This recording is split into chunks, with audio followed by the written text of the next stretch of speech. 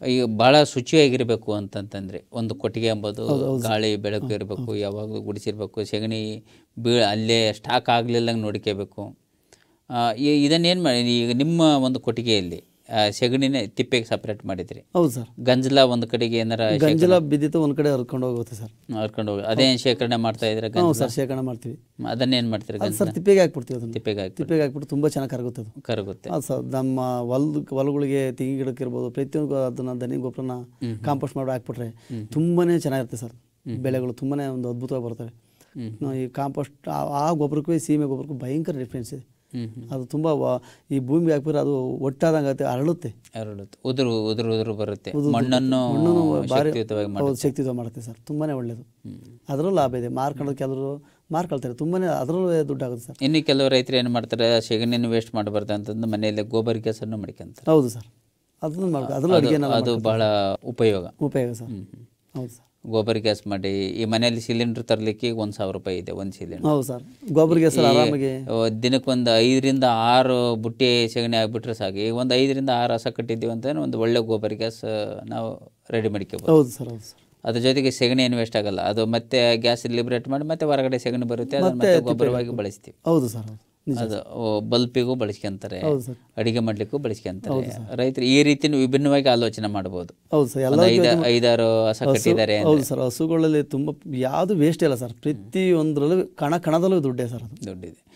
ಈಗ ಆರು ಹಸ ಇದಾವೆ ನಿಮ್ಮ ಆರು ಹಸದಿಂದ ಎಷ್ಟು ಹಾಲನ್ನ ಸಂಗ್ರಹ ಮಾಡ್ತೀರಾ? ಒಂದು ಹೊತ್ತಿಗೆ. ಸರ್ ಒಂದು ಹೊತ್ತಿಗೆ ಒಂದು ಸರ್ ಆರು ಹಸುಗಳಿದೆ ಅಂತಾರೆ ಒಂದೇ ಸಲ ಕರ ಹಾಕಲ್ಲ ಅವು. ನಮ್ಗೆ ಅಂತ ಹಂತವಾಗಿ ಒಂದು ಈಗ ಒಂದು ಎರಡು ತಿಂಗಳಲ್ಲಿ ಒಂದು ಎರಡು ಕರ ಹಾಕಿದ್ದೇವೆ. ಈಗ ಎಷ್ಟು ಈಗ ಎಷ್ಟು ಹಸ ಹಾಲು ಮಾ ಕೊಡ್ತಾ ಇದ್ದೇವೆ? ಸರ್ ಒಂದು ಈಗ ಮೂರು ಹಸ ಕೊಡ್ತೀವಿ ಮೂರು ಹಸ ಗಬ್ಬ ಇದ್ದೇವೆ.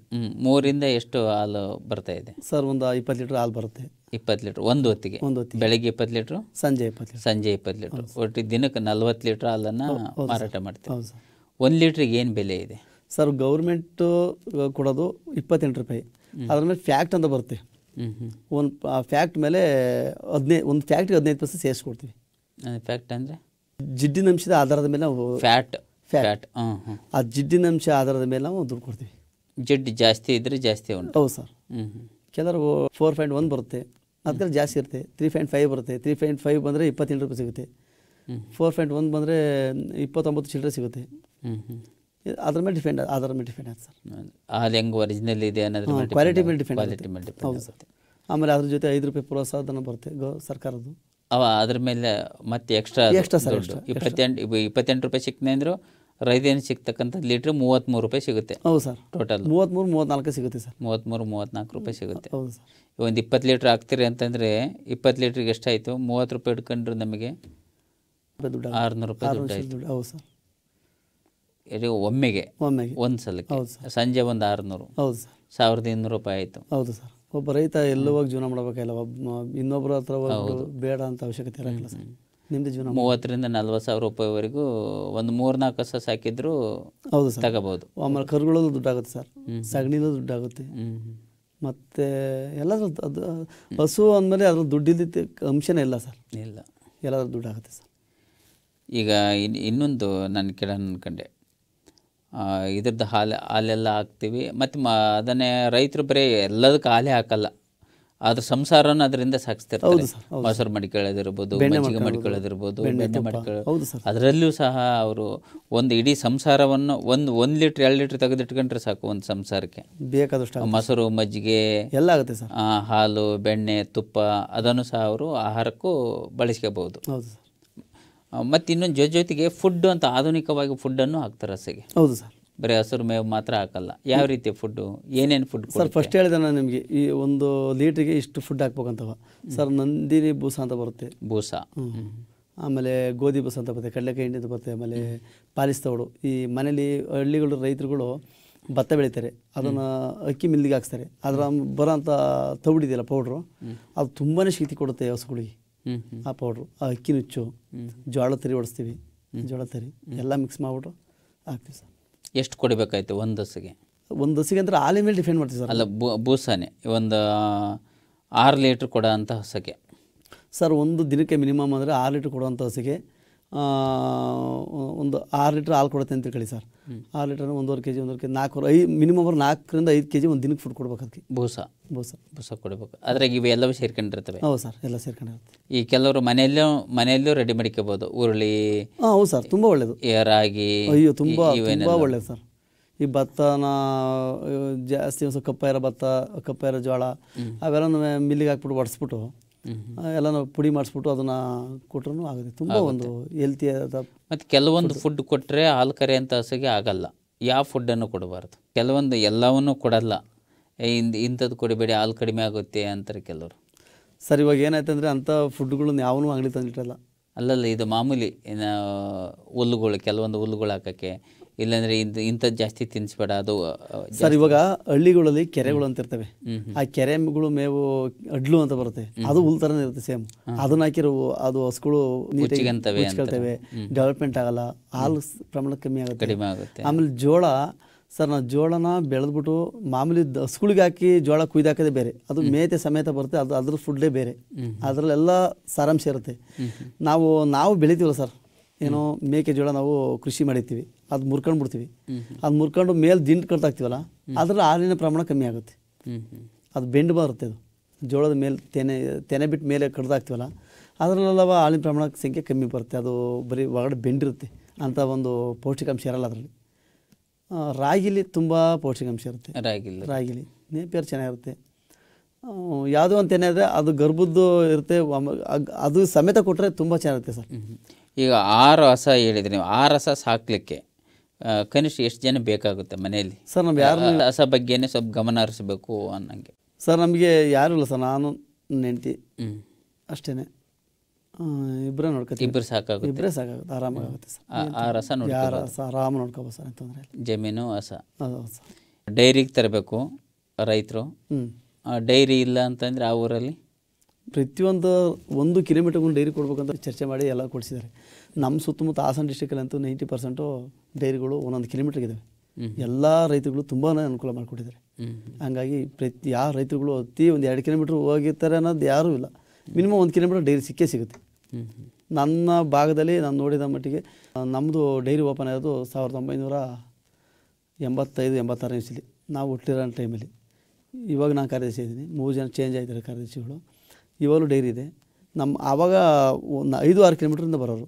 ನಾನು ಡೈರಿ ಸೇರ್ಕೊಂಡು ಹದಿಮೂರು ವರ್ಷ ಆಯಿತು. ಹದಿಮೂರು ವರ್ಷದಲ್ಲೇ ಬೇರೆ ಒಂದು ನಾಲ್ಕೈದು ಕಿಲೋಮೀಟ್ರಿಂದ ಬರೋದು. ಇವಾಗ ಆಯಾ ಊರಿಗೆ ಕೊಟ್ಟಿದ್ದಾರೆ. ಒಂದೊಂದು ಊರಿಗೆ ಒಂದೊಂದು ಡೈರಿ ಒಂದೊಂದು ಊರಿಗೆ ಒಂದು ಡೈರಿ ಒಂದೊಂದು ಕಿಲೋಮೀಟ್ರಿಗೆ ಆ ಭಾಗದಲ್ಲಿ ರಾಸು ಸಮೀಕ್ಷೆ ಮಾಡ್ತಾರೆ. ರಾಸುಗಳ ಮೇಲೆ ಡಿಫೆಂಡ್ ಮಾಡ್ತಾರೆ. ಇವತ್ತು ಹೈನುಗಾರಿಕೆ ಮೇಲೆ ತುಂಬ ಜನ ಡಿಫೆಂಡ್ ಮಾಡಿದ್ದಾರೆ. ಡಿಪೆಂಡ್ ಆಗಿದ್ದಾರೆ. ಡಿಫೆಂಡ್ ಇದೆ ಸರ್. ಇವಾಗ ಎಜುಕೇಷನ್ ಸರ್ಕಾರ ಎಜುಕೇಷನ್ ಮಾಡಿ ಗೌರ್ಮೆಂಟ್ ಕೆಲಸನ ಕೊಡುತ್ತೆ ಅಂತ ಹೇಳೋಕ್ಕಾಗಲ್ಲ. ನಾವು ಸ್ವಾವಲಂಬಿಗೆ ದುಡ್ಕೋಬೋದು. ಇಂಥ ಹೈನುಗಾರಿಕೆ ಮಾಡ್ಕೊಂಡು ಆರಾಮ ಜೀವ ನೆಮ್ಮದಿ ಜೀವನ ಮಾಡ್ಬೋದು. ಒಂದು ಈಗ ಎಲ್ಲ ಶಾಲೆಯಲ್ಲಿ ಹಾಲು ಕೊಡೋದ್ರಿಂದ ಅಲ್ಲೆಲ್ಲ ಹೋಗಿ ಪ್ಯಾಕೆಟ್ ಹಾಲು ಹಾಕ್ತಕ್ಕಂಥದ್ದು ಇದೇ ಕೆ ಎಂ ಎಫ್ ಕಡೆಗಳಿಂದ. ಹೌದು ಪೌಡ್ರಾಗಿ ಬರ್ತಕ್ಕಂಥ ಪೌಡ್ರಾಗಿ ಬರೋಂಥದ್ದು. ಪೌಡ್ರಾಗಿ ಕೆ ಬರ್ತದೆ ಎಂ ಎಫ್ ಕಡೆಯಿಂದ ಬರ್ತದೆ ಈಗ ನಾನು ಇಷ್ಟ ತನಕ ನೀವೇನು ಹೇಳಿದ್ರಿ ಹಸುಗಳನ್ನು ಹೆಂಗೆ ತರಬೇಕು ಏನೇನು ಯಾವ ರೀತಿ ನಾವು ಮಾರಾಟವನ್ನು ಮಾಡಬೇಕು ಈ ಡೈರಿಗೆ ಹಾಕ್ತಾರೆ ರೈತರು ಬಂದು ಹಾಕ್ತಾರೆ ಎಷ್ಟು ದಿನಕ್ಕೊಮ್ಮೆ ಪೇ ಪೇಮೆಂಟ್ ಮಾಡ್ತೀರಿ ನೀವು ಅವರಿಗೆ? ಸರ್ ಕೆಲವೊಂದು ಡೈರಿಲಿ ಒಂದು ತಿಂಗಳು ಮಾಡ್ತಾರೆ. ನನ್ನ ಡೈರಿಲಿ ನಾನು ಕಾರ್ಯದರ್ಶಿಯಾಗಿ ಹದಿನೈದು ದಿವಸಕ್ಕೆ ಪೇಮೆಂಟ್ ಮಾಡ್ತೀನಿ ಸರ್. ಹದಿನೈದು ದಿವಸಕ್ಕೊಮ್ಮೆ ಪೇಮೆಂಟ್ ಹದಿನೈದು ದಿವಸ ತಿಂಗಳಿಗೆ ಎರಡು ಪೇಮೆಂಟ್ ಮಾಡ್ತೀನಿ. ಎರಡು ಪೇಮೆಂಟ್ ಆಗುತ್ತೆ. ಸರ್. ಅದು ಬೂಸದ್ದೆಲ್ಲ ಕಟಾವು ಮಾಡ್ಕೊಬಿಟ್ರು. ಅವ್ರು ಏನು ಬೂಸ ತಗೊಂಡು ಹೋಗಿರ ಬೂಸ ಫ್ರೀಯಾಗಿ ಕೊಡ್ತೀರಿ ಇಲ್ಲ ಡೈರಿಯಿಂದ? ಡೈರಿಂದ ಅಲ್ಲಲ್ಲ ಮುಂಚೆನೆ ದುಡ್ಡಿಲ್ಲ ಸಾಲ ಕೊಡ್ತೀವಿ ಸಾಲ ಕೊಡ್ತೀವಿ ಅದ್ರ ಮುರ್ಕೊಳ್ತೀವಿ ನಾವು.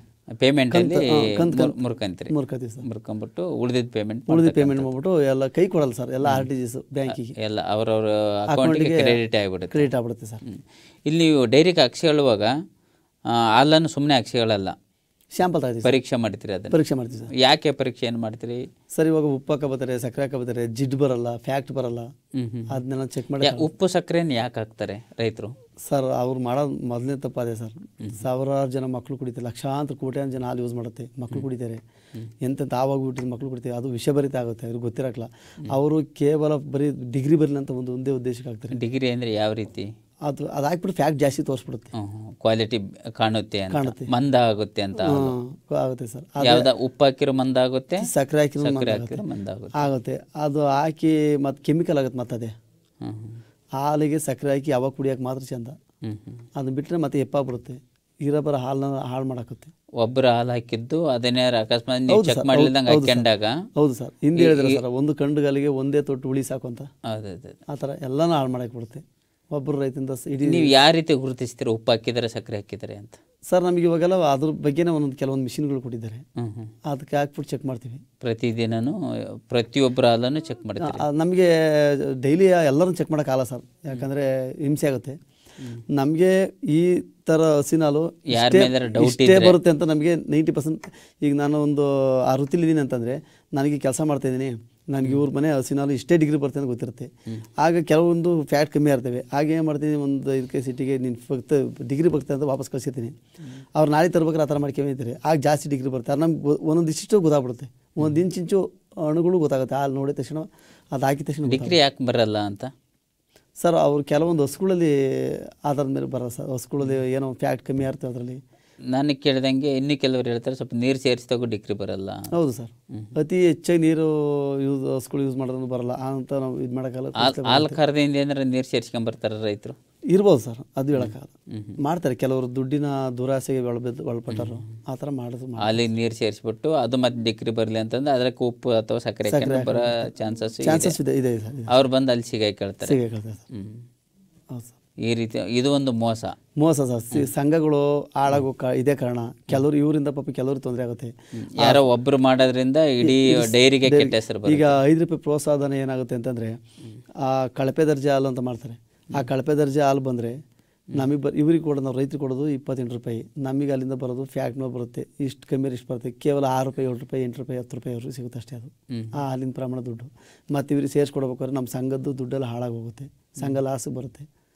ಈ ಥರ ಎಲ್ಲ ಆಗ್ತವೆ. ಆಮೇಲೆ ಕೆಲವ್ರಿಗೆ ಆಮೇಲೆ ಅದು ಲೋಯಶನಪ್ಪ ಅಂತ ಮಾಡ್ತಾರೆ ನಮಗೆ. ಲೋಯಶನಪ್ಪ ಅಂತ ಮಾಡಿದಾಗ ಪ್ರತಿಯೊಂದು ರೈತರುಗಳಿಗೂ ಅವತ್ತು ಐದು ರೂಪಾಯಿ ದುಡ್ಡು ಬರಲ್ಲ. ಅಲ್ಲೇ ಬಂದು ನಾವು ಕ ಬರ್ಕೊಡ್ಬೇಕಾರಲ್ಲೇ ನಾವು ಅದನ್ನು ಕಡಿತ ಮಾಡೇನೆ ಕಳೆದ್ಬಿಟ್ಟೆ ಬರ್ಕೊಡ್ಬೇಕು. ಅವತ್ತಿಂದ ಪ್ರತಿಯೊಬ್ಬ ರೈತರದ್ದು ಕಳೆದೇ ಬರ್ಕೊಡ್ಬೇಕು ನಾವು. ಆ ಹಾಲಿಗೆ ಐದು ರೂಪಾಯಿ ಪ್ರೋತ್ಸಾಹ ಬರಲ್ಲ. ಅವತ್ತಿನ ದಿವಸ. ಅವತ್ತಿಂದ ಅವತ್ತಿನ ದಿವಸ. ಅದು ಮೈನಸ್ ಆಗ್ಬಿಡುತ್ತೆ ಸರ್. ಈಗ ಬಾ ಇವರು ಕೇವಲ ಒಬ್ಬರು ಮಾಡಿದ ಕೆಲಸದಿಂದ ಕೆಲವರು ಇಪ್ಪತ್ತು ಲೀಟ್ರ್ ಮೂವತ್ತು ಲೀಟ್ರ್ ನಲ್ವತ್ತು ಲೀಟ್ರ್ ಹಾಲು ಹಾಕಾರಿ ಪಾಪ ಅವರಿಗೆಲ್ಲ ಅನ್ಯಾಯ ಆಗುತ್ತೆ ತೊಂದರೆ ಇಪ್ಪತ್ತು ಲೀಟ್ರ್ ಹಾಲಕ್ಕರಿಗೆ ಐದೈದು ರೂಪಾಯಿ ಹೋಯ್ತು ಅಂದ್ರೆ ಸುಮಾರು ಹೋಯ್ತು. ಹೌದು ನೂರು ರೂಪಾಯಿ ದಿನಕ್ಕೆ ಬೆಳಗ್ಗೆ ಇಪ್ಪತ್ತು ಸಂಜೆ ಇಪ್ಪತ್ತು ನಲ್ವತ್ತು ಲೀಟ್ರ್ ಹಾಲು ಹಾಕ್ತಾರೆ ಅಂತಂದರೆ ಇನ್ನೂರು ರೂಪಾಯಿ ದುಡ್ಡು ಲಾಸ್ ಆಯ್ತು ಹೋಯ್ತು ಸರ್. ಪ್ರತಿ ಎಷ್ಟು ಜನಕ್ಕೂ ಲಾಸ್ ಆಗುತ್ತೆ ಒಬ್ಬರು ಇಬ್ಬರು ಮಾಡೋದು ಸಾವಿರ ಗಂಟೆ ಲಾಸ್ ಆಗುತ್ತೆ. ಅವ್ರಿಗೆ ಪಾಪ. ಅವ್ರದ್ದೇ ಹೋಗುತ್ತೆ ಅದು ಅರ್ಥವೇ ಹಾಕಲ್ಲ ಅವರಿಗೆ. ಕೇವಲ ಒಂದು ನೂರು ಇನ್ನೂರು ಗ್ರಾಮ್ ಮುನ್ನೂರು ಗ್ರಾಮ್ ಐನೂರು ಗ್ರಾಮ್ ನೀರು ಹಾಕೋಕ್ಕೆ ಇಲ್ಲೇ ಲಾ ವಾ ಲೋಯಶನಪ್ಪ ಅಂದ್ರೆ ಇಲ್ಲೇ ದುಡ್ಡು ಆಗುತ್ತೆ ಇನ್ನೂರು ಮುನ್ನೂರು ರೂಪಾಯಿ. ಈಗ ಅರ್ಧ ಲೀಟ್ರ್ ಒಂದು ಲೀ ಒಂದು ಲೀಟ್ರ್ ಹತ್ತು ಲೀಟ್ರಿಗೆ ಒಂದು ಲೀಟ್ರ್ ನೀರು ಹಾಕ್ತಾರೆ ಅಂತ ತಿಳ್ಕೊಳ್ಳಿ. ಒಂದು ಲೀಟ್ರ್ ನೀರು ಹಾಲಿಗೆ ಇಪ್ಪತ್ತೆಂಟು ರೂಪಾಯಿ. ಹತ್ತು ಲೀಟ್ರ್ ಹಾಲು ಹಾಕಿರ್ತಾರೆ. ಹತ್ತು ಲೀಟ್ರ್ ಲೋಯಶನಪ್ಪ ಬಂದರೆ ಐವತ್ತು ರೂಪಾಯಿ ಅಲ್ಲೇ ಹೋಯ್ತು. ಯಾರೇ ಲಾಸು ಅದೇ ರೈತ ಲಾಸು ಅವ್ರು ಅರ್ಥ ಮಾಡ್ಕೊಳಕ್ಕೆ ಅಷ್ಟೇ. ನೋಡಿ ಈಗ ಹಾಲನ್ನು ಈ ರೈತರು ಹಾಕಿ ಹೋಗ್ತಾರೆ. ಹೋಗಿಂದ ನೀವು ಯಾವ ರೀತಿ ಅದನ್ನು ಮತ್ತೆ ಇದನ್ನು ಮಾಡ್ತೀರಿ ಪ್ಯಾಕ್ ಮಾಡ್ತೀರಿ? ಸರ್ ನಾವು ಒಂದು ದಿವಸನೂ ನೀಟಾಗಿ ಬಿಸಿನೀರಲ್ಲಿ ಕ್ಯಾನ್ ವಾಶ್ ಮಾಡಿ. ಅದನ್ನು ಶೇಖರಣೆ ಮಾಡ್ತೀವಿ. ಆ ಶೇಖರಣೆ ಮಾಡಿದ್ದ ಪಕ್ಕದಲ್ಲಿ ನಮಗೆ ಇವಾಗ ಬಿ ಎಂ ಸಿ ಅಂತ ಕೊಟ್ಟಿದ್ದಾರೆ. ಸಂಘಕ್ಕೆ ಮಿನಿಮಮ್ ಹಾಲು ಕರೆದು ಹತ್ತು ನಿಮಿಷ ಕಾಲು ಗಂಟೆ ಒಳಗೆ ಸಂಘ ತರಬೇಕು ಬಿಸಿ ಹಾಲನ್ನೇ ಅದನ್ನು ಶೇಖರಣೆ ಮಾಡ್ಬಿಟ್ಟು ನಾವು ಅದನ್ನು ಬಿ ಎಂ ಸಿ ಕಳಿಸ್ತೀವಿ. ಅಲ್ಲಿಂದ ಅವರು ಶೇಖರಣೆ ಮಾಡ್ಕೊಬಿಟ್ಟು ದೊಡ್ಡ ದೊಡ್ಡ ಟ್ಯಾಂಕರ್ಗಳು ಬಂದ್ಬಿಟ್ಟು ತೊಗೊಂಡು ಹೋಗ್ತಾರೆ ನಮಗೆ ನಮ್ಮದು. ಬೇರೆ ಕೆಲವು ಡೈರಿಗಳಲ್ಲಿ ಡೈರೆಕ್ಟಾಗಿ ಕೆ ಎಂ ಎಫ್ಗೆ ಹೊಡಿತಾರೆ. ನಾವೆಲ್ಲ ಫಸ್ಟ್ ಎಲ್ಲ ಫಸ್ಟ್ ಕೆ ಎಂ ಎಫ್ಗೆ ಹಾಲು ಡೈರೆಕ್ಟ್ ಸರ ಮಾಡೋವು ಇವಾಗ ದೂರ ಅಂತ ಹೇಳ್ಬಿಟ್ಟು ಮೂವತ್ತು ನಲ್ವತ್ತು ಕಿಲೋಮೀಟ್ರ್ ಆಗುತ್ತೆ ದೂರ ಅಲ್ಲಿಂದ ಬರೋಕ್ಕಾಗಲ್ಲ ಅಂತ ಹೇಳ್ಬಿಟ್ಟು ಹಾಲು ಬ್ಯಾಕ್ಟೀರಿಯಾಗಳು ಜಾಸ್ತಿ ಸೇರ್ಕೊಳತ್ತೆ ಅಂತ ಹೇಳ್ಬಿಟ್ಟು ಅಲ್ಲೇ ಒಂದು ಒಂದು ಐದಾರು ಸಂಘಕ್ಕೆ ಒಂದು ಪಾಯಿಂಟ್ ಮಾಡಿಬಿಟ್ಟು ಅಲ್ಲೇ ಒಂದು ಸರ್ಕಲ್ ಮಾಡಿಬಿಟ್ಟು ಬಿ ಎಂ ಸಿ ಕೊಡ್ತಾರೆ. ಬಿ ಎಂ ಸಿ ಕೊಟ್ಟಿದ್ದಾರೆ. ನಾವು ಅಲ್ಲಿಗೆ ಶೇಖರಣೆ ಮಾಡ್ತೀವಲ್ಲ ಹಾಲನ್ನು. ಅಲ್ಲಿ ಹೋಯ್ನಂದ್ರೆ ಅವರು ಡೈರೆಕ್ಟಾಗಿ ಹಾಕೊಂಡು ಸೀದಾ ಕೆ ಎಂ ಎಫ್ ತಗೊಂಡು ಅವರು ಬಿ ಎಂ ಸಿರೇ ಬಂದ್ಬಿಟ್ಟು ನಮ್ಮ ಹತ್ರ ಹಾಲನ್ನು ಎಲ್ಲ ತಗೊಂಡು ಹೋಗ್ಬಿಡ್ತಾರೆ ಗಾಡೀಲಿ. ಇಲ್ಲಿ ನೀವು ಪೇಮೆಂಟ್ ಮಾಡುವಾಗ ರೈತರಿಗೆ ನಿಮಗೆ ಕೆ ಎಂ ಎಫ್ನವ್ರು ಪೇಮೆಂಟ್ ಮಾಡ್ತಾರೆ? ಹೌದು ಸರ್. ಅವ್ರು ಎಷ್ಟು ದಿನಕ್ಕೊಮ್ಮೆ ಸಂಘದ ಅಕೌಂಟ್ ಅವರು ಹದಿನೈದು ಪೈಸೆ ಲೇಟ್ ಆಗುತ್ತೆ ಅವ್ರದ್ದು ಕೆಲವೊಂದು ನಮ್ಮದು ಹಳೆ ಸಂಘಗಳಲ್ವ ಒಂದು ಸ್ವಲ್ಪ ಅಮೌಂಟ್ ಇರ್ತೇವೆ ನಾವು ರೈತರುಗಳಿಗೆ ಯಾವುದೇ ರೈತರುಗಳು ನೋವು ಕೊಡಲ್ಲ. ಹದಿನೈದನೇ ತಾರೀಕು ಮುಗೀತು ಅಂತಂದರೆ ಹದಿನಾರನೇ ತಾರೀಕು ಹದಿನೇಳಕ್ಕೆ ನಾನು ಯಾವುದೇ ಕಾರಣಕ್ಕೂ ರೈತರುಗಳಿಗೆ ಪೇಮೆಂಟನ್ನು ಕೊಡೋಂಥ ಸವಲತ್ತುಗಳು ಮಾಡ್ತೀವಿ ನಾವು. ಕೆಲವು ಕೆಲವೊಂದು ಡೇರಲ್ಲಿ ಹೊಸ ಡೈರಿಗಳಲ್ಲಿ ಲಾಭಾಂಶ ಇರಕ್ಕಲ್ಲ ಅವ್ರ ರೂಪಾಯಿ ಲೇಟ್ ಮಾಡ್ತಾರೆ. ಅವ್ರದ್ದು ಏನು ತೊಂದರೆ ಇರಕ್ಕಲ್ಲ. ಹಳೆ ಡೈರಿಗಳಲ್ಲಿ ಹಂಗೆ ಮಾಡ್ತಾರೆ. ನಮ್ಮದು ಹಳೆ ಡೈರಿಗಳಲ್ಲಿ ಬೇಗ ಹಂಗೆ ಮಾಡ್ತೀವಿ. ಅವರು ನಮ್ಮ ಸಂಘದ ಅಕೌಂಟ್ ಇರುತ್ತೆ ಸರ್. ಆ ಸಂಘದ ಅಕೌಂಟಿಗೆ ಅವರು ಕ್ರೆಡಿಟ್ ಮಾಡ್ತಾರೆ. ಕೆ ಎಂ ಎಫ್ ಕಡೆಯಿಂದ ಕೆ ಎಂ ಎಫ್ ಡೈರೆಕ್ಟ್ ಬರುತ್ತೆ.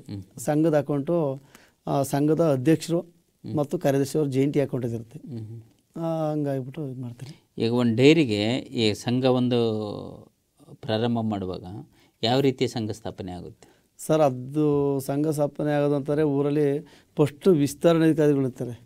ಸೂಪ್ರೈಸರು ವಿಸ್ತರಣಾಧಿಕಾರಿಗಳು ಕಡೆಯಿಂದಲೇ ನಾವು ಮಾಡ್ಕೋಬೇಕು. ಆಯಾ ತಾಲೂಕು ಆಯಾ ಸರೌಂಡಿಂಗಿಗೆ ಒಬ್ಬೊಬ್ಬರನ್ನ ವಿಸ್ತರಣಾಧಿಕಾರಿಗಳು ಅಂತ ನೇಮಿಸಿರ್ತಾರೆ. ಅವರು ಕಡೆಯಿಂದ ನಾವು ಸಲಹೆ ಪಡ್ಕೋಬೇಕು. ಆಮೇಲೆ ಜಿಲ್ಲಾ ಡೈರೆಕ್ಟರ್ಗಳು ಇರ್ತಾರೆ. ಅವ್ರ ಕಡೆ ಸಲಹೆ ಪಡ್ಕೋಬೇಕು. ಅವ್ರುಗಳು ನಮಗೆಲ್ಲ ಮಾರ್ಗದರ್ಶನ ತೋರಿಸ್ತಾರೆ ಈ ಥರ ಈ ಥರ ಮಾಡ್ಕೊತ. ಆಮೇಲೆ ಶೇರ್ ವರ್ಡ್ ಆಗ್ಬೇಕು. ಒಂದು ಊರಲ್ಲಿ ಇಷ್ಟು ಇಷ್ಟು ಶೇರ್ ಅಂತ ಇರಬೇಕು. ಶೇರ್ ಕಟ್ಸ್ಕೋಬೇಕು ಸಂಗ್ರಹ ಮಾಡ್ಕೋಬೇಕು. ಈ ಒಂದು ಸಂಘ ಆಗ್ಬೇಕಂದ್ರೆ ಎಷ್ಟು ಶೇರ್ ಇರಬೇಕಾಗುತ್ತೆ? ಮಿನಿಮಮ್ ಅಂದ್ರೆ ನೂರ ಇಪ್ಪತ್ತೈದು ಶೇರ್ ಇರ್ಬೇಕು ಸರ್. ನೂರ ಇಪ್ಪತ್ತೈದು ಜನ. ನೂರ ಇಪ್ಪತ್ತೈದು ಜನ ರೈತರು ಅಲ್ಲಿ ಶೇರ್ ಹೌದು ಸರ್. ನೋಂದಣಿ ಮಾಡ್ಕೊಂಡು ಸಂಘದಾಗೆ ಹೌದು ಸರ್. ಕನಿಷ್ಠ ನೂರ ಇಪ್ಪತ್ತು ಜನ ರೈತರು ಹಾಲು ಹಾಕಕ್ಕೆ ರೆಡಿ ಇರ್ಬೇಕು. ರೆಡಿ ಇರ್ಬೇಕು ಸರ್. ಹಂಗಾದ್ರೆ ಒಂದು ಸಂಘ ಆಗುತ್ತೆ. ಹೌದು ಸರ್. ಈ ಒಂದು ಸಂಘದಲ್ಲಿ ಎಷ್ಟು ಜನ ಪದಾಧಿಕಾರಿಗಳು ಇರ್ತಾರೆ?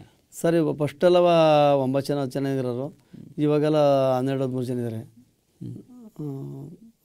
ಈಗ ಅವ್ರನ್ನ ಹನ್ನೆರಡು ಹದಿಮೂರು ಜನ ಆಯ್ಕೆ ಮಾಡೋದೇ ಯಾವ ಪ್ರಕ್ರಿಯೆ? ಹೆಂಗ್ ಮಾಡಿ ಸರ್ ಮಾಮೂಲಿ ನಾವು ಯಾವ ಥರ ಎಲೆಕ್ಷನ್ ಚುನಾವಣೆ ಆಗುತ್ತೆ ಚುನಾವಣಾ ಆಯೋಗದವರೇ ಬಂದು ಅವರೇ ಆಯ್ಕೆ ಮಾಡೋದು. ಬೇರೆ ಯಾರು ನಮ್ಮ ಸಂಘದಲ್ಲಿ ಮಾಡಲ್ಲ. ಕೆ ಎಂ ಎಫ್ ಕಡೆಯಿಂದ ಬರ್ತಾರೆ. ಇಲ್ಲ ಸರ್ ಏರ್ ಆಫೀಸು. ಹ್ಞೂ ಹ್ಞೂ ಏರ್ ಆಫೀಸು. ಅಲ್ಲಿಂದ ಬಂದ್ ಮಾಡ್ತಾರೆ. ಅಷ್ಟು ಜನ ಯಾರು ಶೇರ್ ಹೋಲ್ಡರ್ ಇರ್ತಾರೆ ಅವರು ಓಟ್ ಹಾಕ್ಬೇಕಾಗುತ್ತೆ ಅಲ್ಲಿ ಹೌದು ಸರ್ ಅದು ಓಟ್ ಮಾಡಿದರೆ ನಾವು ಇದು ಮತದಾರ ಪಟ್ಟಿ ನಾವು ಲಿಸ್ಟ್ ಮಾಡ್ತೀವಿ. ಎಲೆಕ್ಷನ್ ಆಫೀಸರ್ ಬರ್ತಾರೆ ಅವ್ರ ಜೊತೆ ಇದು ಮಾಡ್ಕೊಬಿಟ್ಟು ಯಾರು ನೂರ ಎಂಬತ್ತು ಸಾಲ ಆಗ್ತಾರೆ ಅಂತರ್ ಮಾತ್ರ ಚುನಾವಣೆ ಸ್ಪರ್ಸಕ್ಕೆ ಸಾಧ್ಯ. ನೂರ? ಎಂಬತ್ತು ದಿನ ಆರು ತಿಂಗಳು ಕಂಪಲ್ಸರಿ. ಚುನಾವಣೆ ಹಿಂದೆ ಚುನಾವಣೆ ಹಿಂದೆ ಆರು ತಿಂಗಳು ಹಾಲನ್ನು ಸಂಘಕ್ಕೆ ಸರಬರಾಜು ಮಾಡಿರ್ಬೇಕು. ಹಾಲು ತಂದಿರ ಹಾಕಿರ್ಬೇಕು. ನೂರ ಎಂಬತ್ತು ದಿವಸ ಹಾಲು ಖಂಡಿತವಾಗಿ ಅದ್ರ ಮಧ್ಯೆ ಒಂದು ಎರಡು ಸಾವಿರ ಎರಡು ದಿವಸ ವಾರ ಒಂದು ವಾರ ಗ್ಯಾಪ್ ಆರು ತೊಂದರೆ ಇಲ್ಲ. ಹುಡುಗಿ ಆರು ತಿಂಗಳ ಹಿಂದಿಂದ ಅವ್ರ ಹಾಲನ್ನ ಹಾಕಿರ್ಬೇಕು. ಹಾಕಿರ್ಬೇಕು. ಸಂಘಕ್ಕೆ. ಅಂತರನ್ನ ನಾವು ಮಾಮೂಲಿ ಓಟ್ ಹಾಕೋಕ್ಕಾಗಲಿ ಇದಕ್ಕೆಲ್ಲ ಮಾಡ್ಕೊತೀವಿ. ಎಲೆಕ್ಷನ್ ಇಲ್ಲ ಎಲೆಕ್ಷನ್ ಎಲೆಕ್ಷನ್ ಖಂಡಿತವಾಗಿ ನೂರ ಎಂಬತ್ತು ಸಾಲ ಹಾಕ್ಲೇಬೇಕು. ಹಾಕ್ಲೇಬೇಕು. ಹ್ಞೂ ಹೌದು ಸರ್. ಅಂತರ ಮಾತ್ರ ಹರರು. ಹರರು. ಅದಕ್ಕೊಂದು ಮಾನದಂಡ ಇದೆ. ಹೌದು ಸರ್. ಇಲ್ಲಿ ಯಾರ್ಯಾರೆಲ್ಲ ಇರ್ತೀರಿ ಸಂಘದಲ್ಲಿ? ಸರ್ ಸಂಘದಲ್ಲಿ ಕಾರ್ಯದರ್ಶಿ ಅಧ್ಯಕ್ಷರು ಫಸ್ಟ್ ಅಧ್ಯಕ್ಷರು ಆಮೇಲೆ ಕಾರ್ಯದರ್ಶಿ. ಆಮೇಲೆ ಸದಸ್ಯರುಗಳು ಆಮೇಲೆ ಟೆಸ್ಟರು ಟೆಸ್ಟರ್. ಆಮೇಲೆ ಮೇಯ್ನು ವಿಸ್ತರಣಾಧಿಕಾರಿಗಳು ನಮಗೆ ಮಾರ್ಗಸೂಚಿ ಅಂತ ಹೇಳಿದರೆ ಮೇಯ್ನ್ ಅವರೇ ವಿಸ್ತರಣೆ ಅವರ ಮಾರ್ಗಸೂಚಿಯ ಮಾರ್ಗದರ್ಶನದಲ್ಲಿ ಹೋಗ್ಬೇಕು. ಹೌದು ಸರ್ ಅವ್ರ ಮಾರ್ಗದರ್ಶನ ನಾವು ಸಂಘ ಹೋಗ್ಬೇಕು. ಅವರು ಸಂಘ ಯಾವ ರೀತಿ ತೋರಿಸ್ತಾರೆ ಆ ರೀತಿನೇ ಮಾಡ್ಬೇಕು ಸರ್. ಹೌದು ಸರ್. ಮತ್ತು ಇದು ಇಷ್ಟೆಲ್ಲ ಹೇಳಿದ್ರಿ ಯಾವ ರೀತಿ ಇದು ಮಾಡಬೇಕು ಅಂತ. ಮತ್ತು ಸಂಘದಿಂದ ರೈತರಿಗೆ ನಿಮ್ಮ ಒಂದು ಹಾಲು ಉತ್ಪಾದಕರ ಸಂಘದಿಂದ ಏನಾದರೂ ಸವಲತ್ತುಗಳಿದ್ದಾವೆ ಸರ್ ಅವಾಗೆಲ್ಲ ಸವಲತ್ತುಗಳು ಬರೋವು. ಇವಾಗೇನು ಸವಲತ್ತುಗಳನ್ನ ಈ ಪಂಚಾಯತಿಗೆ ಆಮೇಲೆ ವೆಟರ್ನರಿ ಹಾಸ್ಪಿಟ್ಲ್ಗಳಿಗೆ ಕೊಡೋದ್ರಿಂದವ ಡೈರೆಕ್ಟಾಗಿ ನಮ್ಮ ಸಂಘಗಳಿಗೆ ಏನು ಬರಲ್ಲ. ಅಲ್ಲ ಸಂಘಗಳಿಂದ ರೈತರಿಗೆ ಏನಾರ ಸಹಕಾರ ಇದೆಯಾ? ಸಹಕಾರ ಅಂತ ಅದೇ ಸರ್ ಹಾಲು ಹಾಕ್ಸ್ಕೊಳ್ಳೋದು ಅಮೌಂಟ್ ಡಿಸ್ಟ್ರಿಬ್ಯೂಟ್ ಮಾಡೋದು. ಹಿಂಗೆ ಏನೋ ದಿಢೀರಂತ ಯಾವುದೋ ಒಂದು ಕಷ್ಟಕ್ಕೆ ಸಿಗಾಕೆಂತಾನ ರೈತ. ಹಸು ಆಕಸ್ಮಿಕವಾಗಿ ಏನೋ ಒಂದು ಇದಕ್ಕೆ ಬಲಿಯಾಗಿಬಿಡುತ್ತೆ. ಸರ್ ಅವ್ರಿಗೆ ಇನ್ಸೂರೆನ್ಸ್ ಇದೆ ಸರ್. ಡೈರಿ ಕಡೆ ಇನ್ಸೂರೆನ್ಸ್ ಅದನ್ನ ಇನ್ಸೂರೆನ್ಸ್ ನಾವು ರೈತರು ಸಾಕಷ್ಟು ಹೇಳ್ತೀವಿ ಕೆಲವು ರೈತರುಗಳು ಮಾಡಿಸಲ್ಲ. ಇನ್ಸೂರೆನ್ಸ್ ಇದೆ. ಒಂದು ಹಸು ಆ ಹಸು ಎಷ್ಟು ಗಾತ್ರ ಇದೆ ಎಷ್ಟು ಹಾಲು ಕೊಡುತ್ತೆ ಅದ್ರ ಮೇಲೆ ಡಿಫೆಂಡ್ ಮಾಡಿ ಮೂವತ್ತು ನಲವತ್ತು ಐವತ್ತು ಸಾವಿರ ಈ ಥರ ಇನ್ಸೂರೆನ್ಸ್ ಮಾಡಿಕೊಡ್ತಾರೆ. ಅದು ಸರ್ಕಾರ ಅರ್ಧ ಇನ್ಸೂರೆನ್ಸ್ ಕಟ್ಕೊಡುತ್ತೆ. ರೈತರು ಅರ್ಧ ಕಟ್ಟಬೇಕಾಗುತ್ತೆ ಒಂದು ಹಸುಗೆ ಎಷ್ಟು ಬರುತ್ತೆ ಇನ್ಸೂರೆನ್ಸ್ ಕಟ್ಟಕ್ಕೆ? ಸರ್ ಇನ್ಸೂರೆನ್ಸ್ ಒಂದು ಮಿನಿಮಮ್ ಅಂದರೆ ಒಂದು ಸಾವಿರ ರೂಪಾಯಿ ಕಟ್ಬೇಕು ಅಂದರೆ ಸರ್ಕಾರನೇ ಒಂದು ಆರುನೂರ ಏಳು ರೂಪಾಯಿ ಕಟ್ಟಿಕೊಟ್ಟಿರುತ್ತೆ. ನಮಗೆ ಬರೀ ಕೇವಲ ಒಂದು ಇನ್ನೂರೈದು ಮುನ್ನೂರು ರೂಪಾಯಿ ಕಟ್ಕೊಂಡು ಅಲ್ಲ ಒಂದು ಹಸ ಇದೆ ಒಂದು ಐದು ಹಸ ಐತೆ ಅಂದ್ಕೊಳ್ಳಿ ನಿಮ್ದು ಆರು ಹಸ ಇದೆ ಅಂದರೆ ಆರು ಹಸಗೆ ಇನ್ಸೂರೆನ್ಸ್ ವರ್ಷಕ್ಕೆ ಎಷ್ಟು ಕಟ್ಟಬೇಕು ಮಿನಿಮಮ್ ಅಂದರೆ ಒಂದು ಐವತ್ತು ಸಾವಿರಕ್ಕೆ ಐನೂರು ರೂಪಾಯಿಂದು ನಾನ್ನೂರು ರೂಪಾಯಿಂದು ನಾಲ್ಕು ಸಾವಿರ ನಾನ್ನೂರು ರೂಪಾಯಿಂದು ಈ ಥರ ಬಂದಿರುತ್ತೆ ಸರ್. ಹಸ ಎಷ್ಟು ತಗೊಂಡು ಬಂದಿರ್ತೀವ? ಅದ್ರ ಮೇಲೆ ಡಿಪೆಂಡ್ ಮಾಡಿರ್ತಾರೆ. ಐ ಹತ್ತು ಪರ್ಸೆಂಟ್ ಅದಕ್ಕೆ. ಹೌದು ಸರ್. ಈ ಒಂದು ಹಸ ಎಷ್ಟಕ್ಕೆ ಸಿಗುತ್ತೆ? ಹಸುಗಳು ಮಿನಿಮಮ್ ಅಂದರೆ ಈ ಒಂದು ಮೂವತ್ತು ನಲ್ವತ್ತು ಸಾವಿರ ಈಗ ಒಂದು ನಾಲ್ಕು ಲೀಟ್ರ್ ಮೂರು ಲೀಟ್ರ್ ಕೊಡೋವಂಥ ಮೂವತ್ತು ಇಪ್ಪ ಮೂವತ್ತು ಮೂವತ್ತೈದು ಸಾವಿರ ಸಿಗ್ತವೆ. ಒಂದು ಆರು ಏಳು ಲೀಟ್ರ್ ಕೊಡೋ ನಲ್ವತ್ತು ಸಾವಿರ ಸಿಗುತ್ತೆ. ಒಂದು ಹತ್ತು ಲೀಟ್ರ್ ಕೊಡೋದು ಒಂದು ಐವತ್ತು ಸಾವಿರ. ಅದಕ್ಕಿಂತ ಜಾಸ್ತಿ ಅಂದರೆ ಇನ್ನೂ ಅರವತ್ತು ಸಾವಿರ ಎಪ್ಪತ್ತು ಸಾವಿರ ಎಂಬತ್ತು ಸಾವಿರ ಈಗ ಒಂದು ಐವತ್ತು ಸಾವಿರದ ಹಸ ಅಂದರೆ ಒಂದು ಐದು ಸಾವಿರ ಇನ್ಸೂರೆನ್ಸ್ ವರ್ಷಕ್ಕೆ ಕಟ್ಟಬೇಕು ಇಲ್ಲ ಇಲ್ಲ ಇಲ್ಲ ಸರ್. ಐನೂರು ರೂಪಾಯಿ ಇನ್ಸೂರೆನ್ಸ್ ಮಾಡಿಸಿ ಸಾಕು. ಐನೂರು ರೂಪಾಯಿ ಮಾಡಿಸಿ ಹೌದು ಸರ್. ಐವತ್ತು ಸಾವಿರ ಅದು ಐವತ್ತು ಸಾವಿರ ರೂಪಾಯಿ ನಸಕ್ಕೆ ಐನೂರು ರೂಪಾಯಿ ಇನ್ಸೂರೆನ್ಸ್ ಮಾಡಿದ್ರೆ ಅದೇ ಅಕಾಲಿಕ ಮರಣ ಹೊಂದಿದ್ರೆ ಅದಕ್ಕೆ ಐವತ್ತು ಸಾವಿರ ರೂಪಾಯಿ ನಮ್ಮ ಐನೂರು ರೂಪಾಯಿ. ಇನ್ಸೂರೆನ್ಸ್ ಕಂಪ್ನಿ ಕಟ್ ಕಟ್ಕೊಡುತ್ತೆ ಸರ್. ಡಾಕ್ಟ್ರ್ ಬಂದು ಎಲ್ಲ ನೋಡ್ಬಿಟ್ಟು ಚೆಕ್ ಮಾಡ್ತಾರೆ. ಚೆಕ್ ಮಾಡಿಬಿಟ್ಟು ಪ್ರತಿಯೊಂದು ಮಾಡ್ಕೊಡ್ತಾರೆ. ತುಂಬಾ ರೈತಗಳು ಹೆಲ್ಪ್ ಆಗಿ ಮಾಡ್ಕೊಡ್ತಾರೆ ಸರ್. ಏನು ತೊಂದರೆ ಇಲ್ಲ. ಯಾರಿಗೇನು ತೊಂದರೆ ಕೊಡಲ್ಲ. ಐನೂರು ಏನು ದೊಡ್ಡದೇ ಅಲ್ಲ ವರ್ಷ. ಕಟ್ಟಕ್ಕೆ. ಏನು ತೊಂದರೆ ಇಲ್ಲ ಸರ್. ಅಕಸ್ಮಾತ್ ಏನಾರ ಏನೋ ಆಗಲಿಲ್ಲ ಅಂದರೆ ರೈತ ಕೊರಗ್ಬೋದು ಅಯ್ಯೋ ಐನೂರು ರೂಪಾಯಿ ಹೋಯ್ತಲ್ಲ ಅಂತ.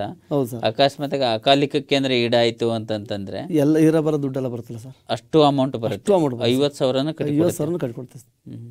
ನಾವು ಐವತ್ತು ಸಾವಿರಕ್ಕೆ ಇನ್ಸೂರೆನ್ಸ್ ಮಾಡಿದ್ರೆ ಐವತ್ತು ಸಾವಿರ ಇನ್ಸೂರೆನ್ಸ್ ಭಾಳ ಅಗತ್ಯ. ಹೌದು ಸರ್ ತುಂಬಾ ಅಗತ್ಯ ತುಂಬಾ ತುಂಬಾ ಒಂದು ಆಗುತ್ತೆ ಸರ್. ನೋಡಿ ಈ- ಒಂದು ಇದರಿಂದ ನಮ್ಮ ರೈತರೆಲ್ಲ ಗಮನಿಸಬೇಕು ಇನ್ಸೂರೆನ್ಸ್ ಎಷ್ಟೊಂದು ಮಹತ್ವ ಅಂತ ಎಲ್ಲರೂ ಇನ್ಸೂರೆನ್ಸ್ ಮಾಡಿಸುವತ್ತನ ಗಮನ ಕೆಲವರು. ಕಟ್ಟಿರ್ತಾರೆ ಸುತ್ತಿಗೆ ಸತ್ತೋತವೆ ಅಂಥದಕ್ಕೆ ಇನ್ಸೂರೆನ್ಸ್ ಬರುತ್ತೆ. ಒಂದು ಕರೆಂಟ್ ಕಂಬ ವಿದ್ಯುತ್ ಶಾಕ್ ತಗಲಿ ಸತ್ತೋಗಿರ್ತವೆ. ಇನ್ಸೂರೆನ್ಸ್ ಬರುತ್ತೆ.